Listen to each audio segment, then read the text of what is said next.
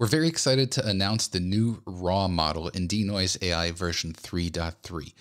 And the major benefit to using this model with your RAW files is that we're able to use all of that sensor data that's in your RAW file to provide the cleanest possible noise reduction while preserving all those important edge details. You can see here I have the original RAW file on the left and then the processed version using the new RAW model on the right. Now, we can also use the comparison view to compare it against our other existing models. And so you can see we have the new raw model in the top left quadrant and clear, low light, and severe noise models in the remaining three quadrants. And in case you can't see the improvements that the raw model provides here, let me show you a different view.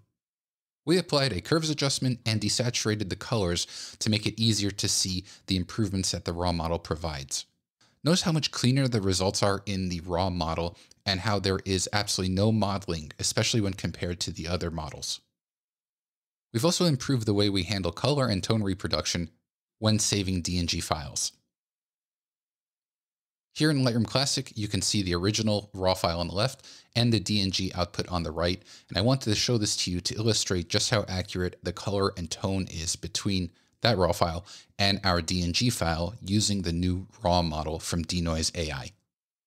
We're very excited about the new RAW model in DeNoise AI, and if you want to try it for yourself, head over to topazlabs.com to download a free trial today.